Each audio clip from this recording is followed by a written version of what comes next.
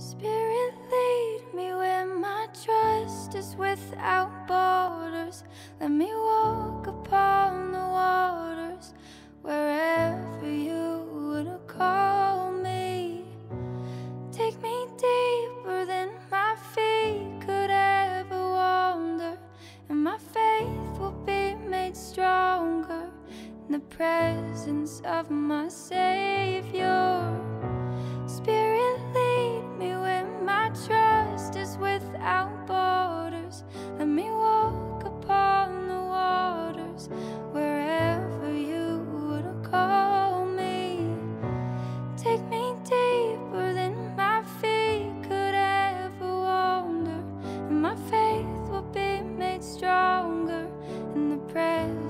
of myself.